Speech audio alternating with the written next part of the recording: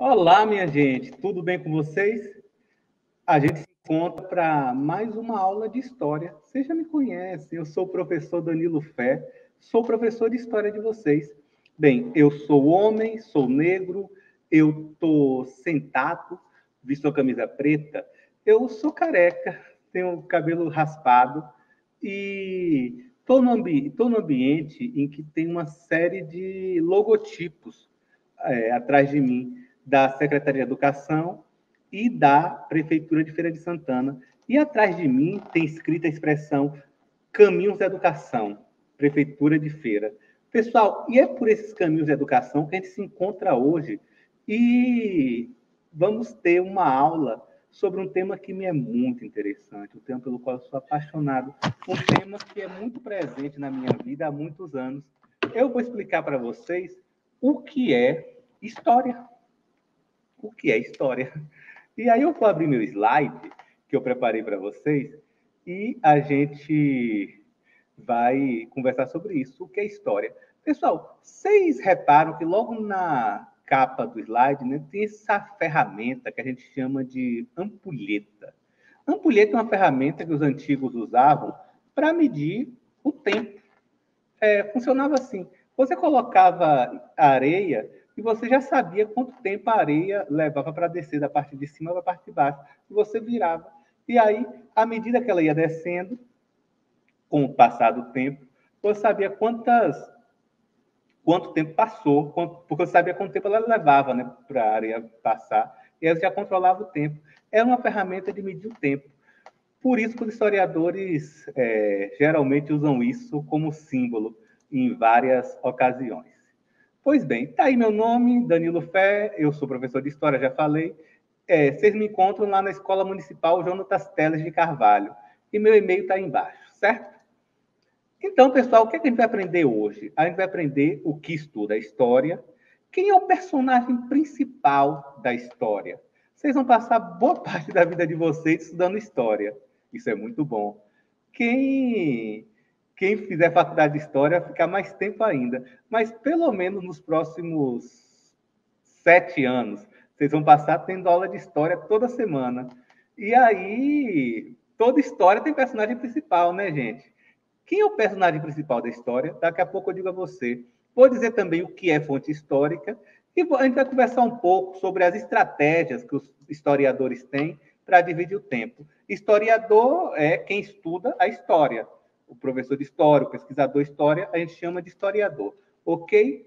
Então vamos em frente, minha gente. É... Primeira questão. A história é a ciência dos homens no tempo. O tempo passa para todo mundo, né? O tempo passa para o africano, o tempo passa para o asiático, o tempo passa para o europeu, tempo passa para todo mundo. E a história é a ciência dos homens no tempo. A história é a ciência que estuda como as diversas sociedades vão experimentar essa passagem do tempo. E é esse que é o tema dessa disciplina maravilhosa, a ciência dos homens no tempo. Como as pessoas, ao longo da passagem do tempo, foram se amando, se casando, brigando, fazendo guerra, criando intriga, estabelecendo cultura, construindo coisas grandiosas, construindo coisas odiosas, tudo isso no rio do tempo passando e as pessoas fazendo suas vidas é o objeto de estudo da história. E notem, a ciência dos homens do tempo. Homens, mulheres, crianças, adolescentes, está todo mundo incluso aí não, não pensem que a história é a ciência dos, da política no tempo apenas. Não, dos homens, todos os homens, todas as mulheres, todas as pessoas. Todo mundo tem importância para a história. Muita gente pensa, ah, a história só estuda política. Não. História estuda a experiência dos homens no tempo. Tudo que o ser humano fez ao longo do tempo é interessante e a gente estuda na aula de história, tá certo? Esse ano a gente vai estudar países, guerras, culturas, muralhas, tudo mais. Coisas grandiosas que, que se fez ao longo do tempo. Se foi feito por homem no tempo, a gente estuda na aula de história. Bem, É, e o que é o historiador? O que é o professor de história? Quem é o personagem principal da história? Aí eu vou citar um professor de história que eu gosto muito, que ele dizia que o historiador é como o ogro. Essa é a dica que eu tenho para dizer quem é o personagem principal da história. O historiador é como o ogro. Pessoal, lembra de Shrek? Shrek, o ogro. O ogro, do mesmo jeito que o ogro fareja a carne humana para caçar, o historiador fareja também as histórias dos homens, das mulheres. Do mesmo jeito que o ogro, ele sai em busca dos homens só que para caçar, a gente sai em busca das trajetórias de homens e de mulheres, de crianças, de adolescentes, não para caçar, como o ogro faz, mas para estudar as experiências, o que eles fizeram, o que eles pensam, como eles se sentem, do que gostam. O historiador é como o ogro. Do mesmo jeito que o ogro fareja a carne humana, o historiador fareja também a carne humana, não para destruir, não para caçar, mas para estudar, para conhecer. O historiador é obcecado por entender quem são as pessoas, quem são, o que elas constroem, do que elas gostam, como são as culturas, como eles se relacionam. Então, o personagem principal da história que a gente tá, que eu, eu vou começar a contar para vocês e outros professores de histórias vão continuar contando é o homem, é a mulher, é a criança, é o adolescente. São as pessoas. O personagem principal da história são as pessoas, pessoas como eu, pessoas como você. É isso que se estuda história. Pessoas agindo ao longo do tempo. Bem, em, em que momento do tempo? Eu não posso estudar o futuro, eu não sei o que vai acontecer. O presente ele é muito perto, eu não consigo pegar o presente. Ele está aqui, mas ele vai estar tá sempre avançando. Ele está sempre. É difícil, porque ele está sempre passando. O único elemento do, no tempo que eu posso estudar, vocês concordam comigo, que eu posso, é o passado. Então, por isso que os historiadores se dedicam a procurar o passado.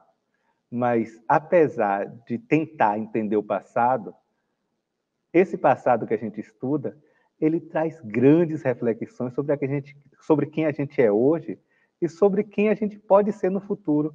Então, a história, do mesmo jeito que ela olha o passado, porque é o que a gente pode olhar, não posso olhar o futuro, ela também consegue projetar, consegue ensinar a gente lições sobre como pode ser o futuro e como melhorar esse futuro, como garantir que o futuro seja melhorado.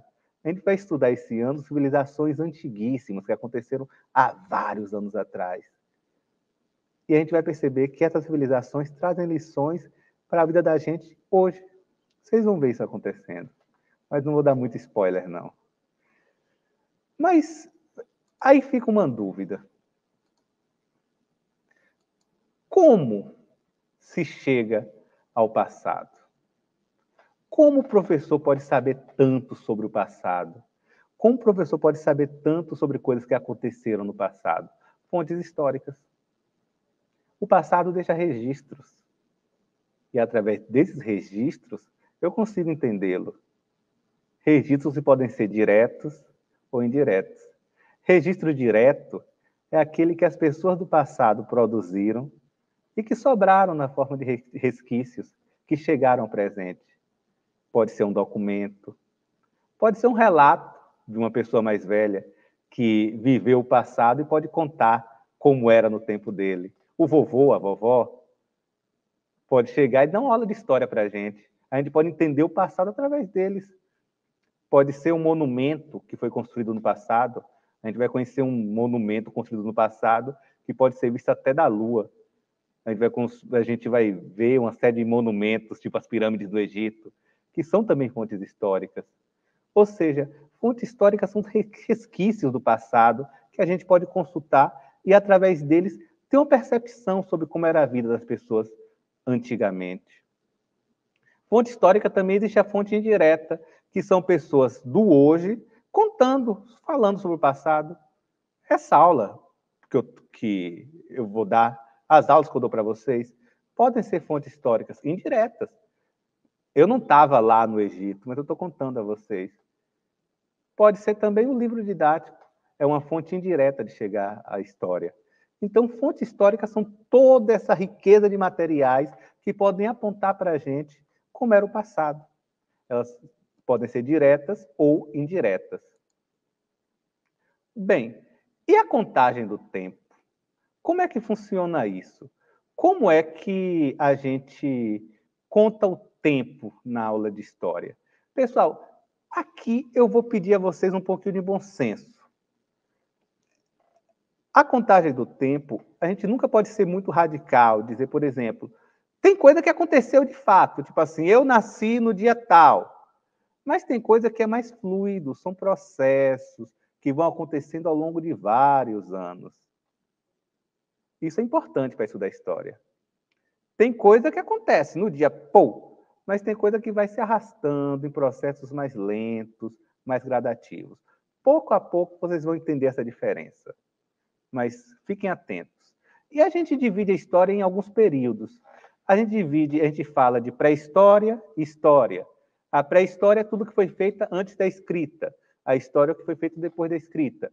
A gente divide também em idades, idade antiga, que é o que vocês vão estudar esse ano, idade média, idade moderna, até chegar à idade contemporânea, que é o que a gente está. São formas de dividir, dividir o passado. E tem também algumas coisinhas que eu quero que vocês aprendam eu quero que vocês entendam também que a gente fala em eras. A era cristã. Os historiadores entendem que o momento mais importante da história para nós aqui, de, nossa, de nosso, de nosso canto do mundo, foi o nascimento de Jesus Cristo. Então, a história é dividida em duas eras, antes e depois de Cristo. Tudo o que aconteceu antes do nascimento de Jesus Cristo, a gente chama antes de Cristo. Tudo o que aconteceu depois do nascimento de Jesus Cristo, a gente chama de depois de Cristo. Jesus Cristo teria nascido no ano no, no ano 4, mas assim, por força de aproximação, a gente vai chamar ano 1. Isso é outra história que um dia eu conto para vocês. Então, é, o ano 1 é o nascimento de Jesus Cristo. O segundo ano, quando Jesus tinha dois anos, o ano 2, 3. Se Jesus é, tivesse aqui entre nós ainda, a gente ia ter, ele ia estar com 2021 anos. Por quê? A gente está no ano de 2021, então passaram 2021 anos depois do nascimento de Cristo, tá certo? Ano 1 depois de Cristo é o ano que Jesus nasceu. Dois depois de Cristo, dois anos depois. Três, três anos depois de Cristo nascer. E esse ano que a gente está é o ano de 2021 depois de Cristo. E antes de Cristo, está aqui o ano 1 antes de Cristo, o ano 2 antes de Cristo, o ano 3 antes de Cristo. E aqui tem um macete que eu vou ensinar a vocês com toda a paciência do mundo, que eu quero que vocês aprendam. Ok? Isso é importante. Aprendam essa contabilidade. Na aula de história também aprende a contabilizar as coisas. Olha só. Os anos depois de Cristo, eles vão passando do jeito que a gente sabe. Um, dois, três, quatro, cinco, seis, sete, oito, nove, dez, até chegar em que ano? 2021, que é o ano que a gente está. Só que an os anos antes de Cristo, eles são contabilizados ao contrário. E tem sentido nisso. Por quê? Porque é evidente que o ano 3, que três anos antes de Cristo nascer, veio antes de dois anos antes de Cristo nascer. Um ano antes de Cristo nascer, já estava pertinho do nascimento de Jesus, o ano, o ano, o ano 1. E esse ano 1, evidentemente, ele veio depois do ano 2. Estão me acompanhando? Que veio depois do ano 3. Ou seja, como é que conta? 3, 2, 1 antes de Cristo, 1, 2, 3 depois de Cristo. Quem veio antes? O ano 10 antes de Cristo ou o ano 1 antes de Cristo? O ano 10 veio antes. Quem veio antes? O ano 1 depois de Cristo ou o ano 10 depois de Cristo? O ano 1 veio antes. Isso é fundamental e isso eu peço que vocês guardem para a vida toda. Nunca mais se confundam nisso. Quando o professor dizer, ah, porque tal evento aconteceu no ano de 3000 a.C., vocês vão ter em mente que isso aconteceu há 5 mil anos atrás. Os dois mil anos que 2021 anos que se passaram depois do nascimento de Cristo e os 5 mil aquém do nascimento de Cristo. Isso é fundamental. Isso é fundamental para que vocês não se confundam. E agora que vocês estão no sexto ano, é o momento mais importante de aprender isso. Por quê? Porque vocês vão trabalhar períodos bem recuados no tempo, muito antes de Jesus Cristo nascer, coisas que aconteceram há seis, sete, oito mil anos antes de Cristo nascer. E é importante que entendam. O ano 8000 antes de Cristo quer dizer o quê? Muito antigamente, 8 mil anos antes de Cristo nascer. E, meus caros, outra coisa, abram a mente. Não se assustem quando o professor falar dois mil anos antes de Cristo. Aí você pensa, quatro mil anos atrás? É, há quatro mil anos atrás. Não se assuste, não. O mundo é velho, gente. O mundo é muito velho. O mundo é muito mais velho do que a gente. A gente não pode ficar limitando achando que o mundo é novinho, não. não o mundo é muito velho. E se abra o pensamento, se permita pensar que as coisas acontecem no mundo desde muito antigamente. Então, ano 3, 2, 1 antes de Cristo, depois veio o ano 1, 2, 3. Professor, e o ano zero? Não tem ano zero. A contagem começa em 1. Então, bora contar? Ano 3 antes de Cristo, depois vem o ano 2 antes de Cristo, vem o ano 1 antes de Cristo, depois vem o ano 1 depois de Cristo, que é o ano do nascimento de Jesus, o ano 2 depois de Cristo, o ano 3 depois de Cristo. O spoiler que eu vou dar é dizer que essa questão de Jesus nasceu no ano 4, mas a gente vai considerar um. um depois, eu vou explicar isso para vocês quando a gente estiver falando de Roma. Mas sem dar spoiler, só me adiantando. Certo? Entenderam essa parte? Então, avancemos. Bem, os historiadores também dividem o tempo na forma de para se organizar. Como eu coloquei para vocês, os processos históricos nem sempre são acontecem algumas coisas levam anos acontecendo. Tem coisa que acontece de vez, tipo assim, como eu falei, o meu nascimento foi no dia lá, no dia certo. Não tem erro. Agora tem processos que vão se arrastando lentamente. Um spoiler que vocês vão estudar esse ano: fim do Império Romano. O Império Romano ele fica decadente, que é um país que a gente vai estudar esse ano ele fica decadente durante vários anos, definhando, se enfraquecendo, perdendo força. E não se dá em um ano. Não dá para a gente dizer o Império Romano acabou no ano tal, no dia tal do ano tal. Não. É um processo lento de vários anos. E aí o que é que eu quero ensinar vocês? Quando a gente fala em um período de 10 anos, a gente fala em décadas. Década de 80 são os anos de 81, 82, 83. Década de 90, 91, 92, 93. Década de 2000, os anos 2001, 2002. Década de 2010, década de 10, pá. Então, quando a gente divide os anos em década, a gente está em 10 anos, a gente está falando em décadas. Pensa aí a década que você nasceu. Eu nasci na década de 80, porque eu nasci em 1982. Então, eu nasci na década de 80. Vocês nasceram na década de 10? Não, né? Vocês nasceram na década de 2000, imagino. Vocês devem ter 11, 12 anos. Então, devem ter nascido na década de 2000. Porque a gente não fala década de zero, né? a gente fala década de 2000. Então, quando a gente divide os anos em décadas, a gente divide em 10. Mas o que eu quero focar aqui, o que é importante na aula de história, é, é a gente dividir, a gente falar em séculos. Se a década tem 10 anos, o século ele tem 100 anos. E é importante que vocês aprendam a distinguir quando eu falar século 3, século 4, século 5. É importante que vocês saibam de que períodos de anos eu estou falando. Então, eu vou ensinar vocês a contar os séculos. que são períodos de 100 anos. Bem, a gente já viu que existiu a era antes e depois de Cristo. Mas e o século? O ano de 1233 faz parte de que século? Antes de Cristo. Bem, a gente já sabe a era, né? Aqui, fácil. Era é, antes de Cristo. E o século? Isso aqui é século o quê? Aí tem um macetezinho. Vocês vão pegar os dois primeiros números. 12. Se ele for, e os dois números que vem depois. No caso aqui, 33. Olha, os dois primeiros números dá 12, né? 12. Esquece 33. Se o, 30, se o que vem depois, os dois últimos números, forem maior que zero, você não conta nada.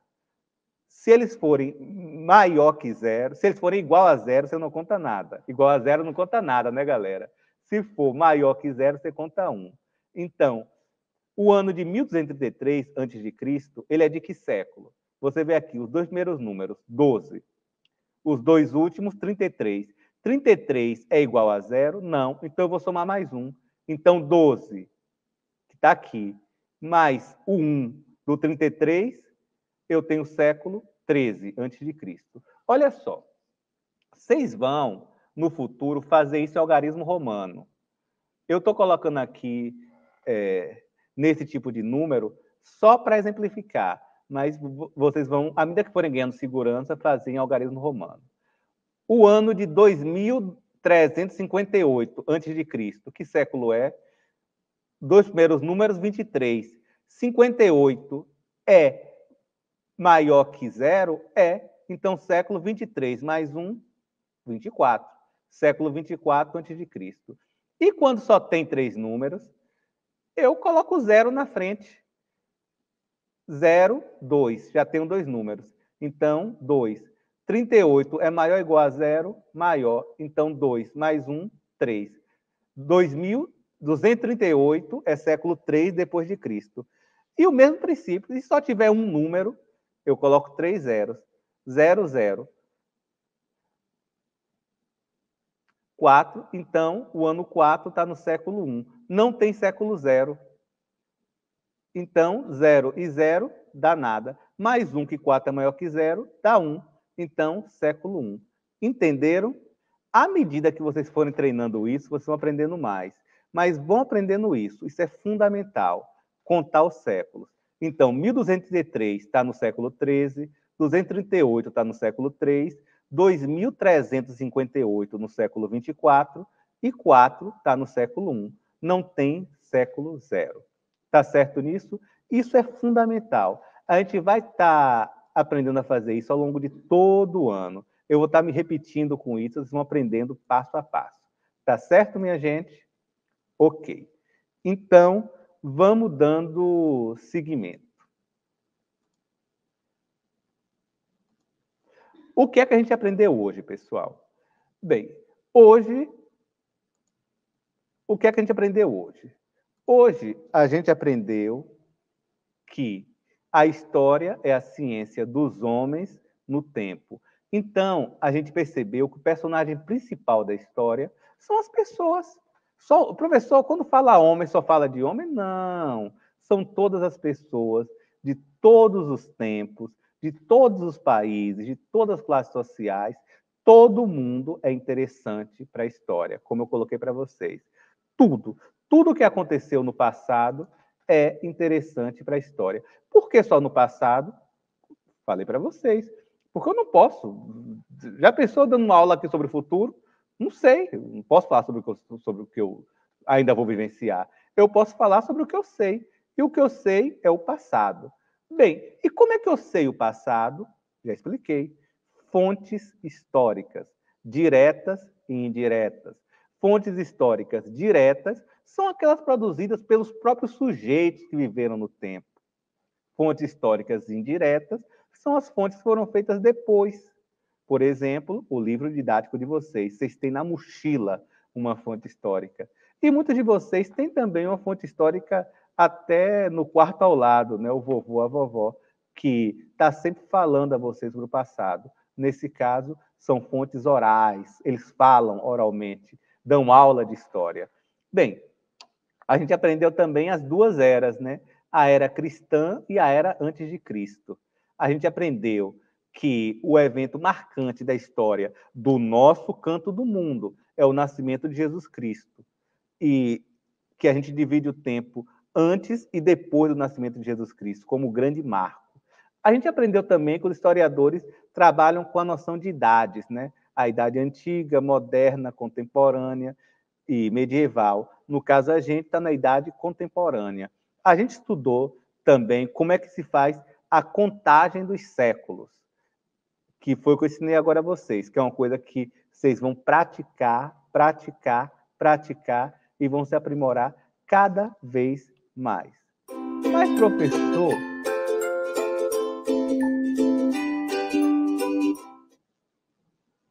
E aí a nossa vinheta, porque chegou a hora da atividade, né? Bem, eu reservei para vocês algumas questões que vocês vão responder no caderno e são essas. O que os historiadores estudam? História? Não. Eu quero aquela resposta bonitinha, do jeitinho que eu ensinei a vocês. Não venham com o caô para cima de mim, não. Qual o personagem principal da matéria História? Vocês sabem, eu já ensinei também. Como os historiadores conseguem observar o passado? Como os historiadores conseguem chegar ao passado? Quais são os elementos que eles usam para compreender o passado? Tá aí, eu já ensinei. E vocês vão citar algumas fontes históricas exemplificando como você considera que cada uma delas poderia auxiliar, nos auxiliar a compreender o melhor passado. Essa questão, pessoal, é muito importante. O que, é que eu quero que vocês façam? Vocês vão me, me citar algumas fontes históricas. Eu citei várias aqui. Vocês vão escolher uma das que eu citei e pensar que tipo de informação sobre, sobre o passado essa fonte histórica pode me oferecer. Se desafiem. Eu sei que é uma questão um pouco complexa para esse momento, mas eu quero complexidade. Eu quero que vocês fritem o juízo, eu quero que vocês pensem, eu quero que extrair o melhor de vocês, que eu sei que vocês conseguem. Certo? E tem mais. Que evento histórico é usado pelos historiadores para dividir as duas eras? Eu também já disse. Bem, o que veio antes, o ano 2032 a.C. ou o ano 10 depois de Cristo? Pensa. Em que séculos estavam os anos 1000 depois de Cristo, 338 a.C e 8 depois de Cristo, usa a cabeça e responde. É, essa parte de calcular, às vezes é um pouquinho complicadinha, mas é fundamental e vai ajudar muito vocês, de modo que quando o professor estiver falando, vocês não vão ficar voando, vão ter a total compreensão do que ele está falando. Bem, são essas as questões, é isso que eu preparei para vocês. E eu me despeço, pessoal, deixando o meu muito obrigado por a gente ter chegado até aqui. Tá aí o meu e-mail na tela. Qualquer dúvida, vocês me mandam um e-mail, podem me procurar, me contactar, que eu respondo. E é isso. Ficamos por aqui. Um abraço e tchau.